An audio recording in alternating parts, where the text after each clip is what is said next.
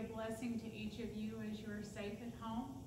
Uh, a few announcements uh, announcements this week. Uh, just be looking out for your email for upcoming events. Um, we'll let you know more throughout the week uh, about what our next week will be looking like. So just give a heads up to all your emails.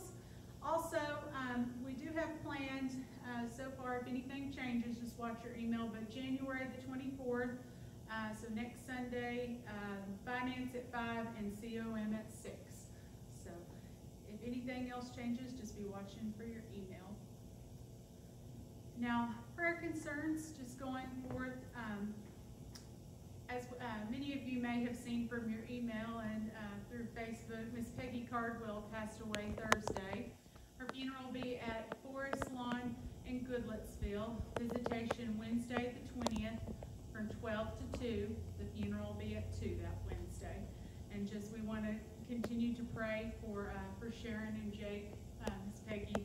Um, I just don't think there's words to just say how wonderful that woman was and how kind-hearted and what an amazing example of a Christian woman she was to our church. And so she will be extremely missed. And so we love you, Sharon, and we love you, Jake, and we uh, we will pray pray for you in this great time of loss. Other people to bring forth this week, um, Stacy Willis is at Vanderbilt Hospital, so we want to lift up Miss Stacy and pray that she is better soon. And Howard Allgood is awaiting results of a scope, so please, please uh, pray for uh, Stacy and Mr. Howard as uh, as they await and as they heal. Any others to bring forth? Okay. Well, let's rejoice together and sing the beautiful hymn, Come Thou Fount of Every Blessing. Please stand as you are able at home.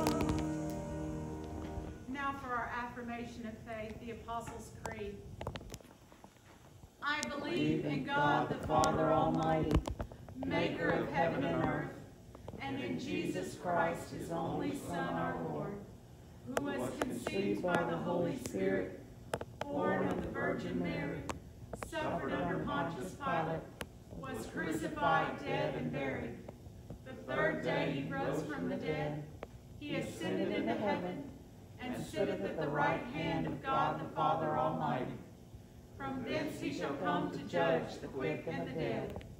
I believe in the Holy Spirit, the holy Catholic Church, the communion of saints, the forgiveness of sins, the resurrection of the body, and the life everlasting. Amen. is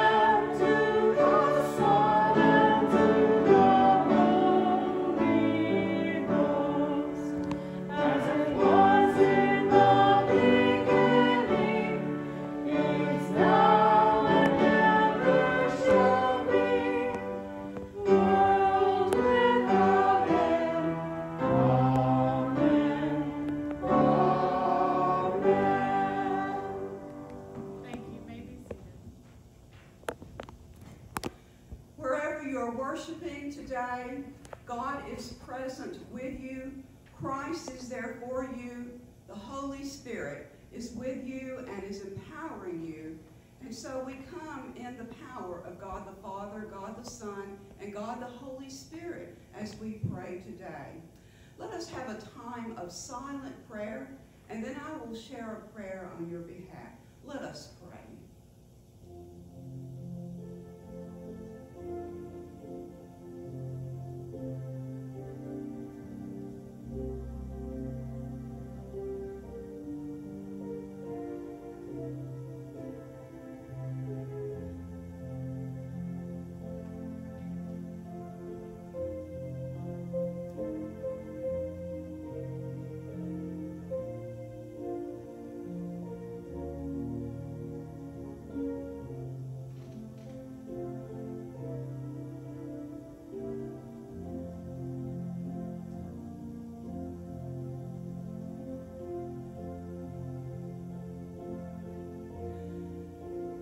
Gracious and wonderful God, we give you thanks today that we know you in three persons God the Father, God the Son, and God the Holy Spirit. We think about the Father who loves us, who cares for us, who protects us and watches over us, who knows us by name and is always there for us.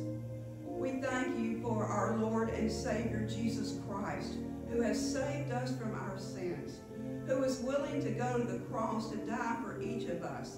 That is the kind of love that we dwell in this morning. We thank you so much that we are redeemed and saved people. And we thank you that you have called us today to share the good news of Jesus Christ with all that we meet. And we thank you for the Holy Spirit that comes in our time of need, that offers us comfort that brings us peace, that convicts us of our sins, and lets us know when we are headed in the wrong direction. And so we would pray today, come, Father, Son, and Holy Spirit, and dwell among your people. We have many needs today, oh gracious God, that we would lift up to you. We are thinking so much about the Peggy's family today. What a great lady what a wonderful witness to our faith in Jesus Christ. And we pray that you would hold that family so close to you today and let them feel your comforting presence and draw sweet memories for them of this wonderful and great lady. We also pray for those that are suffering today. We, we pray for, for Stacy this morning that your healing hand would be upon her and for Howard as he waits for these test results. Just, just dwell with him and let him know that he is not alone during this time. And for others that are sick this morning, that are suffering, that are, are feeling a lot, of, little, a lot of anxiety today, we just ask for the peace of Christ to be with these persons. And we thank you so much for this church and for all it means to this community. We thank you for the way that we are on mission, that we are continuing to lift up the name of Christ in this community. And gracious God, on this weekend, when we remember the legacy of Dr. Martin Luther King, may we remember to be people of justice and righteousness. May we remember not to judge people by the color of their skin, but by the content of their character. And so let us seek to be Christ-like as we deal with others each day. We ask all of these things in the name of Christ our Savior, who taught his children to pray. Our Father, who art in heaven, hallowed be thy name. Thy kingdom come, thy will be done, on earth as it is in heaven. Give us this day our daily bread, and forgive us our trespasses, as we forgive those who trespass against us. And lead us not into temptation, but deliver us from evil. For thine is the kingdom, and the power, and the glory forever. Amen. Miss Judy, would you come forward now to share with our children?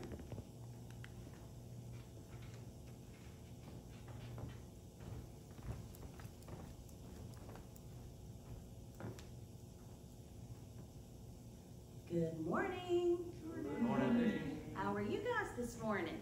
Good. Good. Did you have snow outside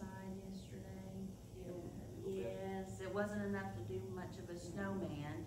And if you were a sleepyhead, it might have been melted by the time you got up. Well, today I want to talk to you about what the scripture is going to be about today. I brought with me today some cookies. Who likes cookies? Oh, we all like cookies, don't we? Well, when I was thinking about talking about this today, it made me think of my daughter Kate when she was in preschool. And those of you that are maybe in preschool or mom's day out, or maybe you go um, to school and you take your lunchbox, how many of you have some kind of sweet treat in your lunchbox? Mm-hmm. Now, sometimes it might be fruit. Maybe your mom doesn't want you to have too much sugar at school. Your teachers probably appreciate that. but Kate always had a sweet treat in her lunchbox. But the problem was, what do you think she always wanted to eat first? Her sandwich, her chips, or her sweet treat? Her sweet treat. Now, this is what this is how it's going to relate to what we're talking about today. She was tempted to eat her sweet treat before she ate her sandwich. She needed her sandwich so it'd make her stay full a little bit longer, and she didn't need to have her sweet treat until she finished all of that. So she was tempted. And the scripture today is going to be talking about Jesus. When he was super, super hungry in the wilderness, and the devil came and he told him, Well, if you're hungry, you can just make your own food from a rock. But Jesus knew that that was not the right thing to do. So he was tempted, just like sometimes we're tempted to eat our cookies first. So you know what Jesus did? He did not do that because he knew that that's not what he was supposed to do. So I just want you to remember that Jesus, just like you, sometimes are tempted to eat your cookies first. He was tempted too, so he knows what that feels like. So when you know that you're doing something you've been said, no, you don't need to do that. Just remember that's happened to Jesus too. And, and when that happens, you can pray to him and he can help you, okay? So pray with me. Dear God, Dear God, thank you for this day thank you for this day and help me and help me when I am tempted. when I am tempted. We love you, God. Love you, God. Amen.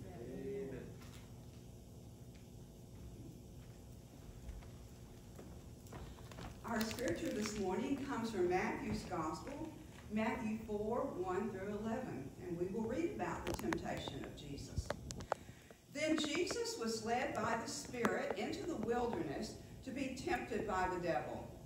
After fasting 40 days and 40 nights, he was hungry. The tempter came to him and said, If you are the Son of God, tell these stones to become bread.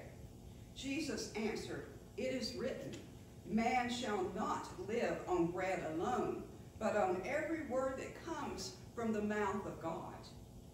Then the devil took him to the holy city and had him stand on the highest point of the temple. If you are the Son of God, he said, throw yourself down, for it is written, He will command His angels concerning you, and they will lift you up in their hands, so that you will not strike your foot against a stone. Jesus answered him, It is also written, Do not put the Lord your God to the test. Again, the devil took him to a very high mountain and showed him all the kingdoms of the world and their splendor. All this I will give you, he said, if you will bow down and worship me. Jesus said to him, Away from me, Satan, for it is written, Worship the Lord your God and serve him only. Then the devil left him, and angels came and attended him. This is the word of God for the people of God. Thanks be to God. Thanks be to God indeed. Good morning, church. Good morning. Hey. Good to see all of you. Again, I'm leading by example. There's a few more in the plate today. Hallelujah. It's multiplied. Amen. Uh, do want you to try to remember to be supportive of your church and, and uh, give of your tithe and offering. And you've done such a good job of that while we've been virtual. we hope to be together again very soon. Just again, keep watching for emails and, and uh, information from the church this week. We're continuing to monitor the situation, and we hope to get back together very soon. So it is good to virtually see all of you today, uh, Brother Jason. And today we're going to talk about temptation, as you heard. That's a, sometimes a difficult thing to preach on. Um, so today you're going to hear lots of, of information. You're going to hear things from the Old Testament, things that Jesus said. We're going to reference some scripture. We're going to find out if Moses played tennis or if David had a motorcycle. All right, are you with me so far? So I hope that you'll stay tuned. So we're going to find out what I mean by all that. Okay, so this morning, uh, we're going to just recap for just a minute. Last week I preached about the baptism of Jesus by his cousin John in the Jordan River. It was here that Jesus entered the waters of baptism to, as we heard, fulfill all righteousness. We talked about the fact that Jesus didn't need to be baptized, he hadn't sinned, but God led him to travel 70 miles to find his cousin John in the Judean wilderness at the Jordan River and to be baptized. And if you remember from last week, John tried to talk him out of it. Wait a minute, Jesus, you need to be baptizing me. He recognized who Jesus was. But I said last week that Jesus needed to identify with being human in every way except in sin. So, in essence, Jesus says, just do it, John. The exact words were, Let it be so now. It is proper for us to do this to fulfill all righteousness. So, let me ask you a question Who is truly righteous? Are we righteous? by our own merit. We try to be, but I think we fail at times, wouldn't you say? Um, sorry to bust your bubble, but so we, we are not truly and perfectly righteous. You know, the wisest human who ever lived was reported to be King Solomon, and he wrote in Ecclesiastes chapter 7, verse 20. Indeed, there is no one on earth who is righteous, no one who does what is right and never sins. That is until Jesus. Remember I quoted 1 Corinthians 1:30 last week. Christ Jesus who has become for us wisdom from God. That is our righteousness, holiness, and redemption. And if you look at 2 Corinthians 5:21 it says God made him, Jesus, who had no sin, to be a sin offering for us, so that in him we might become the righteousness of God. We get to be made right with God, holy before God, redeemed by the blood of Jesus. You see, we've been bought at a price, the precious, the perfect blood of the Lamb of God, Jesus Christ. Remember, it is by our faith in Jesus that we receive his righteousness. And so, coming up out of the waters of baptism, we talked about how God claimed and called Jesus last week. He gave Jesus the power of his Spirit to equip him to go all the way, to complete the rescue mission for humanity. God says, That's my son. That's my boy. I love you. I'm so proud of you. I'm pleased with you. See, Jesus had to fulfill all righteousness in order to share it with us. He had to be fully human, yet sinless in all regards, so that by giving up his life on the cross for each of us, he was taking upon himself all the sins of the world so that we could have his righteousness by our faith in him alone. Jesus says in John 14, 6, I am the way, the truth, and the life. No one comes to the Father except through me. There is no plan B. It's got to be through Jesus. And Jesus had to fulfill all righteousness first. So we learned last week that Jesus was baptized. This week, Jesus was tempted. So the very next verses follow Jesus' journey. Right after, almost his hair still dripping wet, you get the sense of. The Spirit of God within Jesus that had just descended upon him leads him, urges him into the wilderness. What for?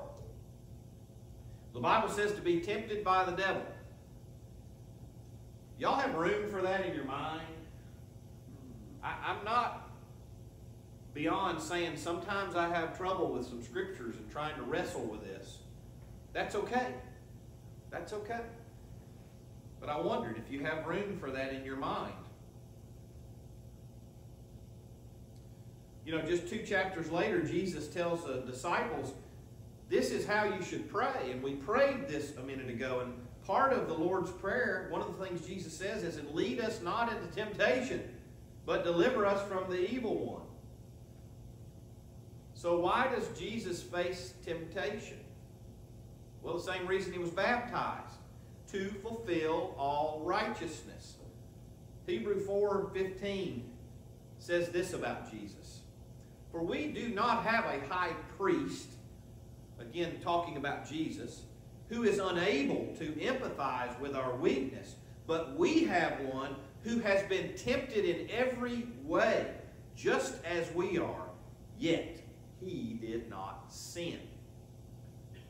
See, I can empathize with anyone facing temptation because I face it too. What about y'all? You know what empathy is, church? It's being able to relate.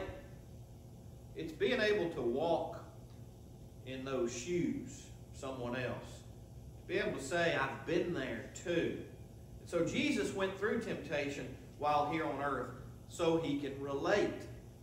But the difference between any of us and Jesus is that Jesus doesn't only empathize with your temptation, he can save you from it because he did not sin. He has fulfilled all righteousness. I'm going to tell you something that's hard to admit, church. I'm a sinner. I fall into temptation. I fail. I don't have righteousness of my own. I think we can all say that. But isn't it hard sometimes to say that? I have faced temptation and lost. Many times, in fact. If I had any aspirations of being righteous, that was shattered when I was five. I remember it. My mother, if she was here, she would remember it. I remember the first time that I gave in to temptation. I was in kindergarten. And I felt compelled to do something very naughty. And I did it. During the bathroom break, I stuffed all of the toilet paper down the commode, flushed it, clogging the toilet and flooding the bathroom floor, and water ran under the door and went into the classroom. I got in a lot of trouble for that. With the teacher, with the principal, who I was terribly afraid of, and with my parents. After doing it, I was horrified. I was a pretty good kid. I couldn't believe I'd done that. I was a quiet kid. I was the kind of kid who, if you just looked at me with disappointment, I would just wither up into a ball and just cry because I was I had disappointed someone. Is anybody else like that?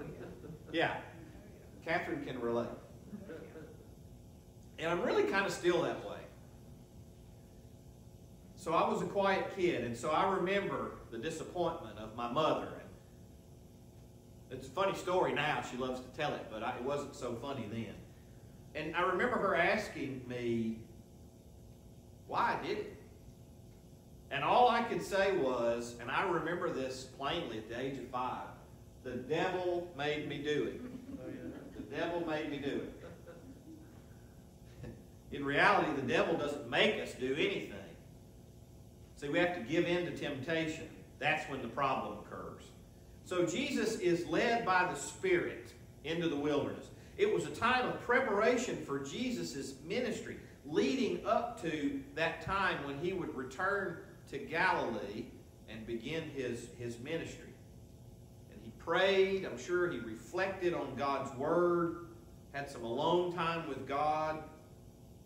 See, Jesus hadn't begun to preach yet. He hadn't been calling disciples yet or stood in the synagogue in Nazareth and said, I am fulfilling the words of Isaiah. He had moved to Capernaum and began to perform miracles. At this point in his life, Jesus was still relatively unknown.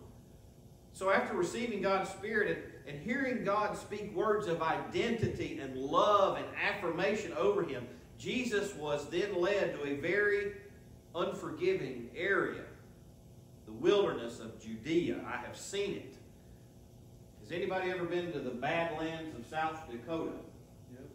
That's what it looks like. It's, it's, there, nothing grows there. I mean, even to this day, the only thing I ever saw in the Judean wilderness was one camel. There's no sheep, there's no people, there's nothing.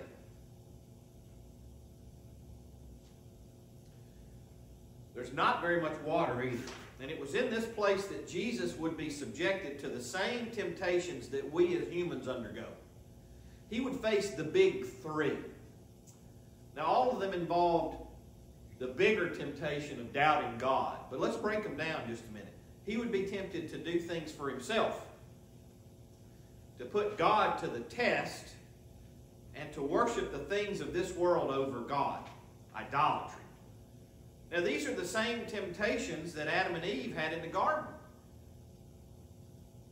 And that God's chosen people, Israel, faced and would give in to. And really the same temptations that we all face and give in to. But Jesus would not. So let's look at how that went down, shall we?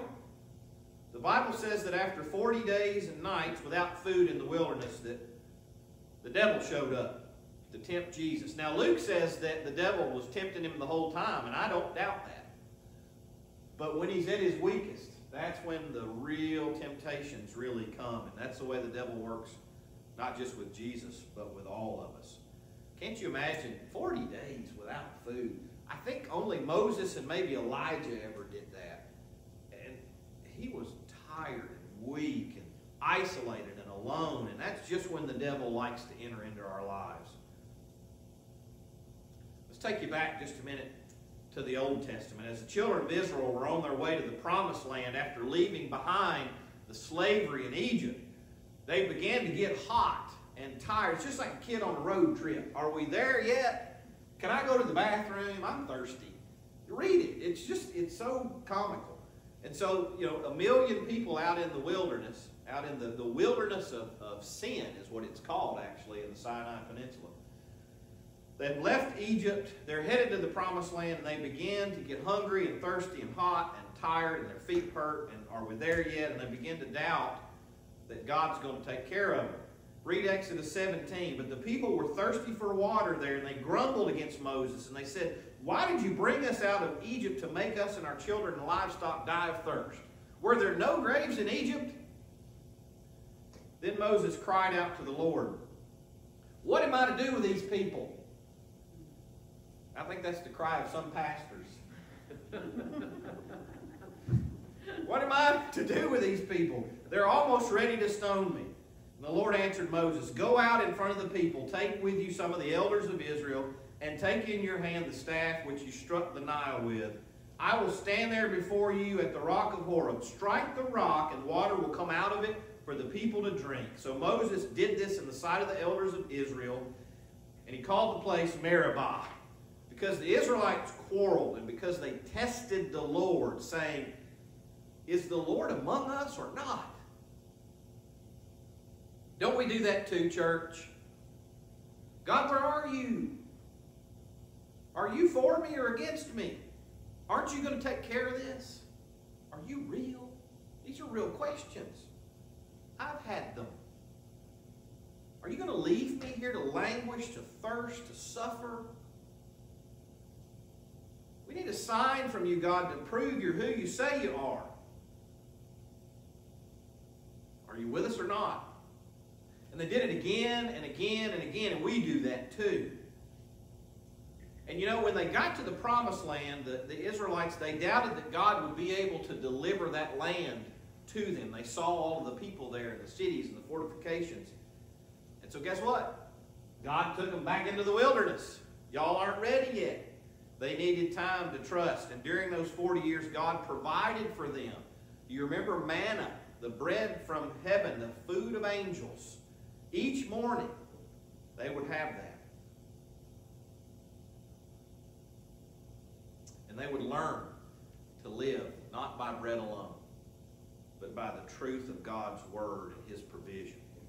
So 40 years they wandered in the wilderness until they finally put their whole trust in God to provide and to protect for them. And then you have Moses' farewell address in Deuteronomy chapter 8. And he's saying, Remember, remember how the Lord your God led you all the way in the wilderness these 40 years to humble and to test you in order that you know what is in your heart, whether or not you're going to keep my commandments. He humbled you, causing you to hunger, and then feeding you with manna, which neither you nor your ancestors had known about, to teach you that man does not live on bread alone, but on every word that comes from the mouth of the Lord. Remember that last part. You're going to hear it again in a minute. You see, sometimes God takes us to the wilderness to show us that it isn't all about us. That sound familiar? It's all about God. He will take care of us, but we have to believe Him And we have to know His Word so we can say with confidence the sermon title today, It is written. You know that Jesus said that more than anyone else in the Bible? Reverend Reader read it three times today in the passage. It is written. Well, we know that Israel would not continue to keep God's commands. They failed in their mission to be the light to all people, just as Adam and Eve had failed to listen to God in the garden. But in the fullness of time, God sent his son, Jesus, to do what others had not been able to do. Jesus would pass the test, and it's important for you to know how he did it. He did it by relying on God's word. It is written, Jesus would say, pointing us back to the faithfulness and the promises made by God. So the temptation of Jesus was not about fulfilling all righteousness as much as it was about also reminding us of the character and the goodness of God. And those are found in God's Word. It is written. So God sent Jesus into the wilderness. Let's get back to that. And that's where we are too, sometimes. And the way out of the wilderness is to trust and obey God. But first, we're put to the test. Jesus demonstrates for us how we get out of the wilderness. You see, Jesus had just received the sonship from God, and now the devil wanted to try and reshape Jesus' brand new understanding of that into a worldly model of pride and power and idolatry through relentless temptation. Jesus was alone. He was tired. He was hungry. He was vulnerable. And that's good campaigning weather for the devil. Amen? Amen. Yeah. In the end, this epic battle between Satan and the Son of God was won by Jesus. He didn't give in.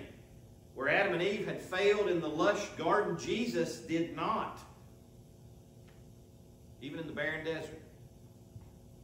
Where Israel failed to remain obedient, Jesus would not fail. He got it right, and because of that, the battle over our lives, over our souls, and our future with God began to take a turn.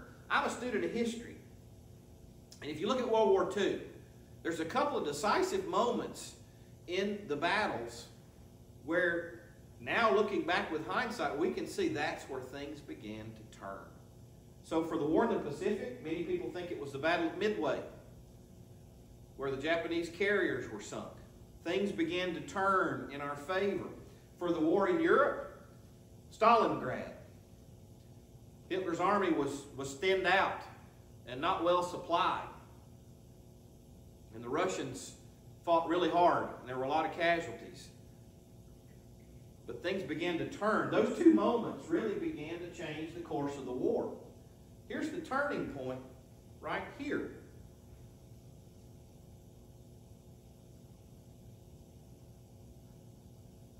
That's what happens when you step away from the pulpit. You lose your place.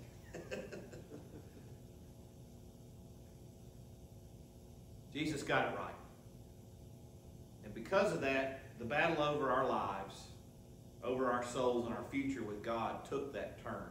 The cross was really the moment of victory, but the battle began to turn in the wilderness of temptation when the devil was unsuccessful at deceiving Jesus. And we're meant to see that the weapon Jesus wielded against the devil, Scripture.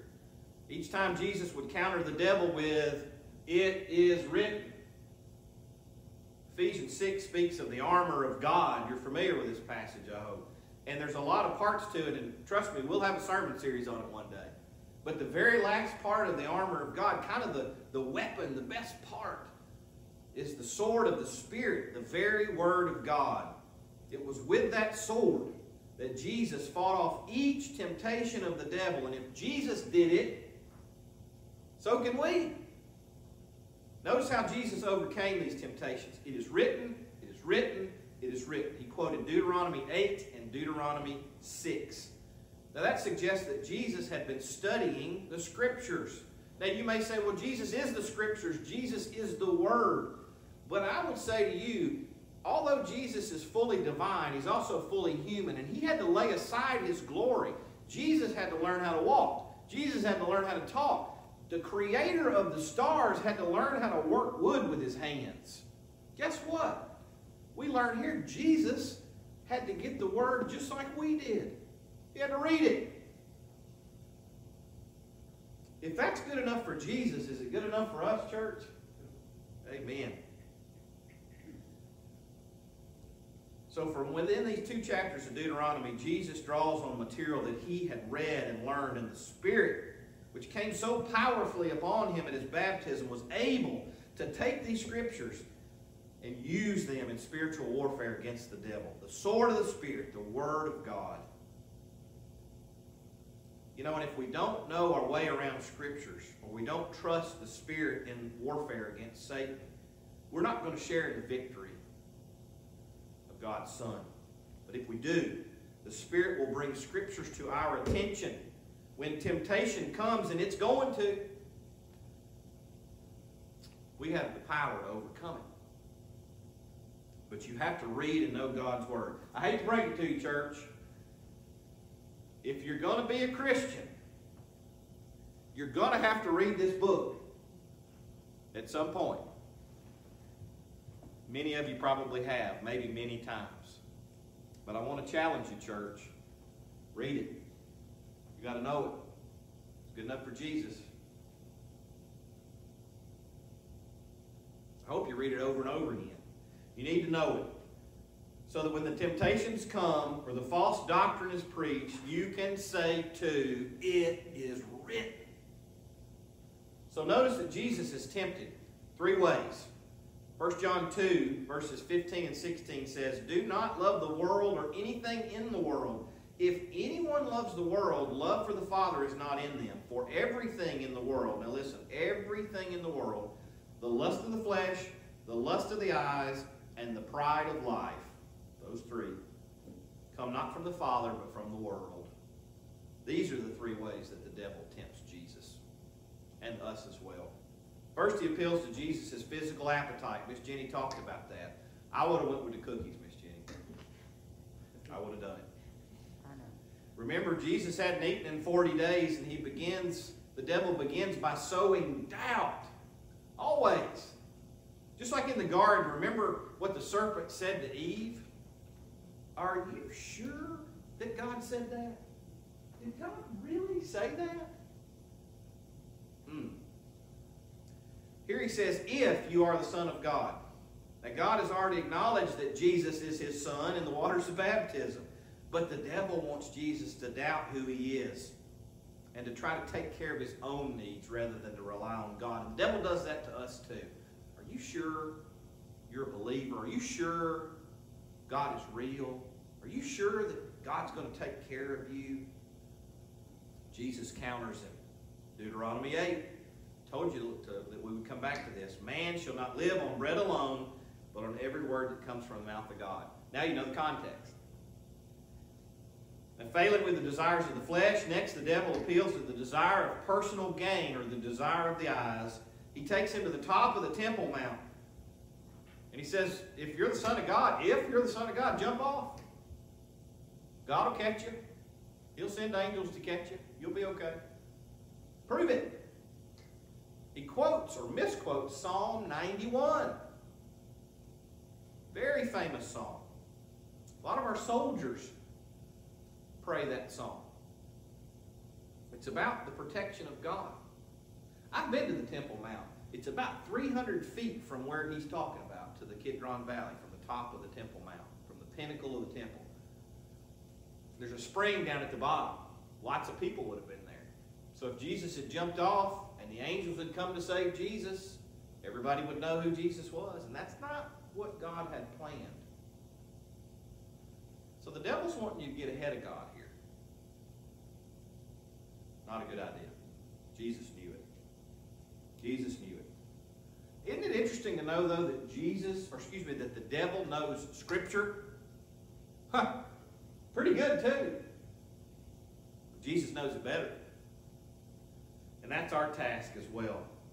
We may fall prey to something called proof texting, where we take things out of context and make them say what we want to hear. Have you ever heard that before? So if the devil knows Scripture, we got to know it better. We want to be able to say it is written. We have to have knowledge of it ourselves. We have to have God's Spirit to help us understand His Word, and we need context. I say this because proof texting is dangerous ground. It's done all the time in churches. You can take a passage out of context, make it say anything you want to justify something. Let me give you an example. Did you know Moses played tennis? Y'all know that? It says in the Bible, I think it's Exodus. Moses would not serve in Pharaoh's court.